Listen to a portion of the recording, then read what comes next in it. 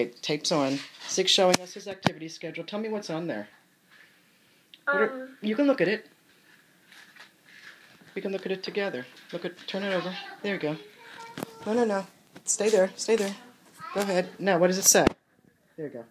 says clean up desk, Yep. hang backpack on doorknob, take lunchbox out, unpack lunchbox, use toilet, wash hands, do homework, clean up room, clean up desk, Valentine's, long medicine. Perfect. So you just checked off what you did?